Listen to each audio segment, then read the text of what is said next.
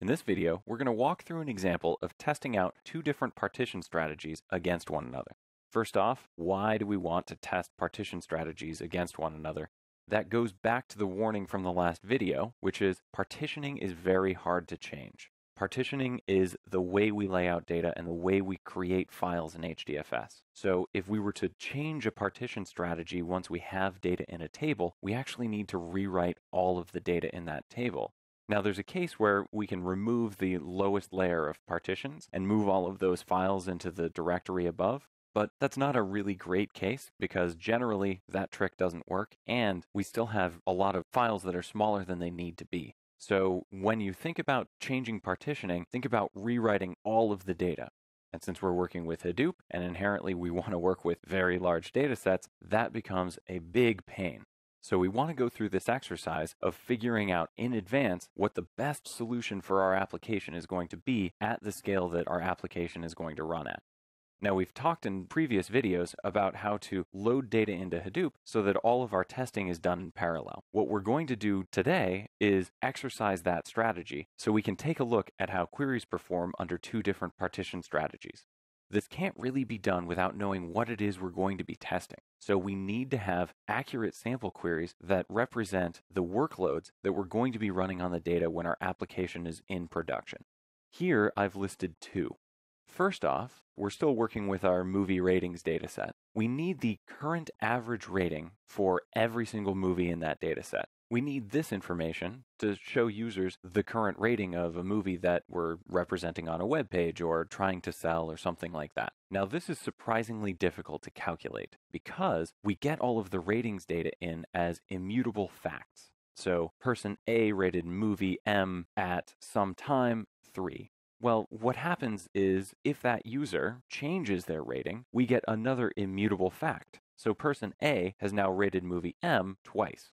So calculating the average rating is actually pretty complex because we have to deduplicate and use just the latest rating for any movie for an individual user. Now, we're not actually going to calculate that today. What we are going to do is just use a representative query in Hive. That's going to be a query where we select the movie ID and the average rating overall, knowing that we'll have to insert some MapReduce job later to calculate the actual value. So what we're interested in Hive here for is just as a stand-in for a MapReduce job that's going to do something a bit more complicated than Hive. The second sample query that we're going to take a look at is getting all of a movie's ratings over time. This is a great query to use Impala for because we're zeroing in on just one movie and we're rolling up each month's worth of ratings in order to view how a movie's ratings have evolved over time. This is to find movies that were maybe initially popular but didn't really hold up over time. These two queries give us something to balance. So we know we're going to be calculating something fairly complex over the entire dataset, and we know we're going to be doing something that we want to happen very quickly an analyst probably doesn't want to wait two minutes to get the results of their time series of ratings back from the dataset. These queries give us two use cases that are kind of difficult to balance and different. In the one case, we're calculating something fairly complex over the entire dataset in Hive, and in the other, we want very quick access to interesting data through Impala. Next, let's take a look at the two different partition strategies we're going to be comparing. The first is the partition strategy that we've looked at thus far. So we have a ratings data set that's partitioned into years, and each year is partitioned into months. Now notice that in this partition strategy, all of the movie data is jumbled together by month. So all of the ratings that happened in December of 2014 are in the same folder for all of the movies that were rated in December 2014. That makes it really difficult for us to find a time series over the entire 20 year span of the dataset for one particular movie. We would have to go over the entire dataset.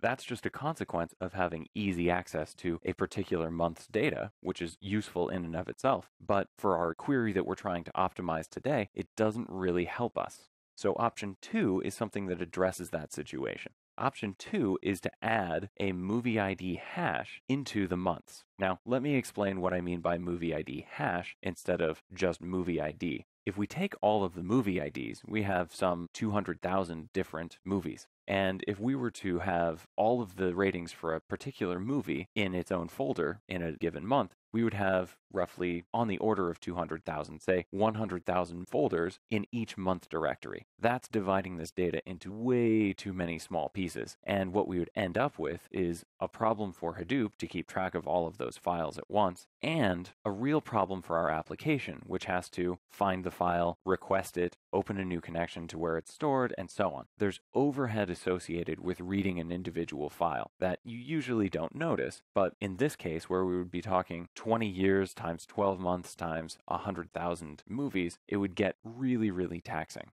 So instead of having a layer that is just movie ID, we can still add a layer that uses the movie ID, but groups them together in a way that we search through more data than we need, but we're not hitting the small files problem. And that is to hash, or really just mod, the movie ID by some number. In this case, I've chosen 32. So you see November, December, January, February all have 0, 1, 2, and so on, all the way up to 31 directories. So that's simply taking the movie ID, modding it by 32, and sticking it in a partition there. Now that we've outlined the partition strategies, let's actually go run these tests. I'm going to drop over to a terminal. Here we go. Now, the data that we've been working with up to this point is already in the first partition strategy, and that is partitioned by year and month. What we need to do is create a second table that's partitioned by the hash of this ID. So we're going to start off by creating that partition strategy and passing it to create a table to Kite. Kite has, once again, as we saw earlier, a partition config command to help us create the JSON configuration file. So I'm going to type kite dataset partition config we're going to take the timestamp year, the timestamp month, and then the movie ID hash, and that is going to be 32 buckets. Now let's just run that and take a look, and it's going to tell me it wants the schema so it can verify that those fields exist. So we'll give it a rating.avsc Okay, and it's created this partition strategy for us that takes the timestamps year, the timestamps month, and then the movie ID hashes it and puts it into 32 buckets. Now, I need to output this to a file, so we'll call it year, month, id.json. And I also need to edit this slightly. And that's because of a current bug in Hive that I've been hitting. Let's take a look at year month JSON. Hive considers all of its column names to be case insensitive. So Hive, when it generates what this name should be, thinks it should be movie ID hash with a lowercase i. So I'm just going to make Hive happy by replacing that capital I with an underscore and a lowercase i. And then we can run kite dataset create ratings by ID give it the rating.avsc schema and the year month id.json file. And this is really dash dash schema and dash dash partition by options. I'm just using the short form here to create that data set. Now I hit control C because I've already done that and filled it with data so that we don't have to wait during this movie. Now I would fill it with data by simply running kite dataset copy from ratings to ratings by ID. I've already done this, so we don't have to wait on the job to happen. But all we're saying is copy in parallel from my ratings dataset into my new ratings by ID dataset. And Kite will handle extracting the data from each record, figuring out what partition it needs to be in, and minimizing the number of files in those partitions to give us a really good layout for our data for this test. And just to say it one last time, these are actually running in parallel, the copy. So it would be very quick on a cluster and it scales with the number of nodes that you have. Next, what we want to do is start running a couple queries to get a feel for how these two different partition strategies compare. I'm going to start off in Impala. So I'm going to run Impala shell dash i blue 3 where one of my Impala nodes is running. And now I can say validate metadata to pick up the changes from the Hive metastore before it times out, and then show tables, and there we have it. I have a ratings by ID table. Well, let's run one of those queries that we were talking about. We're going to run number two from this slide. Need to look at a movie's ratings over time. So we're going to select the year, the month, and the average of the ratings for that month for a particular ID. So let's do this. Let's say select year, month, average rating from ratings, group by year, month, order by year, and month. So we want the year, the month, and the average from the ratings table. We're grouping them together by year and month, and that's how we're going to calculate the average. And we want to order by year and month so they're not jumbled together. Now, the one thing that is missing here is our where clause. So where movie ID equals 588. So this is simulating just one query for a single movie. Again, we don't want to calculate the time series or the averages for each month for all of the movies. That would be pretty expensive. We're zeroing in on the use case where we want it just for one or two movies at a time. So here I've selected a movie at random, which happens to be 1992's Aladdin, which I think we've probably all seen.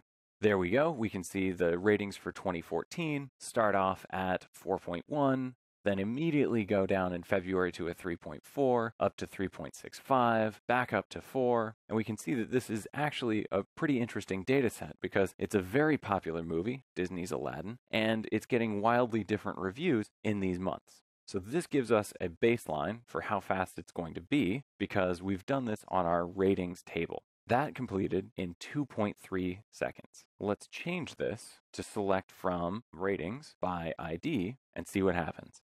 Already, it seems to be taking a long time. Ah, there we go. We get the same results. So looking at 2014 and January, we start off with 4.1, go down to 3.4. So the data looks correct, but this took 10 seconds instead of two and a half seconds. So what is going on here? Well, remember in one of the previous videos, I warned that a lot of the partitioning is left up to you, the user. And that's what's happening in this case. Although we are selecting from a partitioned table, we're really not using that partition because we haven't given Impala any information about how to use those partitions. So we just need to add something to the where clause to tell it how to interpret the partition. So we're going to say where movie ID hash equals 588 mod 32. Now we see that happens a lot more quickly. And in fact, it's a full second faster than queries on our original table, which is great. If we were just optimizing this for analysts, we'd have a clear winner. But we're not. We're still optimizing this for two use cases at once. Let's go back and check that out. We have the current average rating, which we're going to calculate with Hive. So let's drop into a Hive shell and compare the two. The query that we're using to be representative of the more complex figuring out the last known rating for each user is just to calculate the movie ID and the average rating. So we're going to select movie ID, average of rating from ratings, no where clause. We're just going to do this for everything in the data set, and we're going to group by movie ID. And each group is going to have its rating average. We'll run that really quick. Well, not really quick. It's going to take about two minutes. Okay, and there we have it 26,000 results. We don't really care what the results say at this point. What we're interested in is that it took 54 seconds to happen. So let's try the same thing on the ratings by ID table. Now, in Impala, we had to add something special in order to have this go faster. So we could add group by movie ID hash there's probably little reason for this to help because the main cause of this query to take a long time is the number of tasks, which is the number of files, and how long it takes to set up each stage and sort of the overhead of MapReduce. So I'm going to add it just in case it helps, but I don't really think it will. Now already we can see this is taking a lot longer to plan and even get to the job startup phase, which is not a great sign. Okay, finally launching our job, saying that we might want to do some tuning. And that's true, we might want to do some tuning, and you can certainly tune these queries while you're doing testing. I don't think it's very likely that we would need to tune these particular queries. Now, we are only using one mapper for both queries, so it's a little unfair. We could also say that four mappers or really taking advantage of the entire cluster would be better, but we can also say that since we're only using one mapper for both queries, we don't really need to do that adjustment. It may be half or a quarter as long if we were running these queries with more mappers, but the same effect is going to be obvious here. And that is the queries on the data that's broken down by ID hash just take way longer. So here we can see we've already taken a very long time to get to this point, and we're only 8% done with the map. So I'm going to go ahead and cancel this. We can pretty much see here that this query is much, much slower. But I've run it through and it takes about 10 minutes to complete. So one minute versus 10 minutes, it wouldn't really matter if we were using four mappers. We have a big problem here. And that big problem arises from the fact that we're just going over a lot of small files. So let's take a look at how small the files actually are in the two data sets. ls, user, hive, warehouse, ratings, year equals 2015, month equals 03, and we'll see how large the file is in the first. And it looks like it's less than a megabyte, but not too bad. Still well under what we would probably want in a production application. This is just for demonstration purposes. Now let's take a look at ratings by ID and dive into just one of the random directories, movie ID hash equals, say, 8. And here, looks like the file is less than 34K. So the real bottleneck in our Hive query was just opening, closing, and dealing with the overhead of so many files. Now that we have an idea of what's going on and why, let's take a look at what we should choose. On the one hand, our Impala query that analysts are going to be waiting at their desks to see data return from goes from 2.3 seconds down to about 1.3 seconds. So we save one second on every query that someone's probably looking at. On the other hand, our regular job to compute the average rating for all of the movies is going to take about 10 times longer. Maybe we can get that down by tweaking the query a bit, but still, 10 times is a very long time.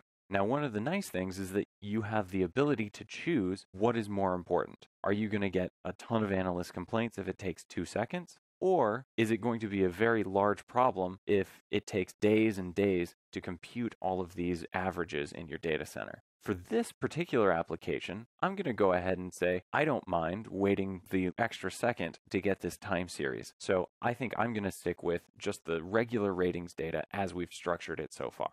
When you're running these tests for your customers, typically you'll have external requirements and SLAs that you might need to meet that make you choose different things. The important thing is knowing from tests and data how to structure your data in advance so that you're not surprised by these things in production.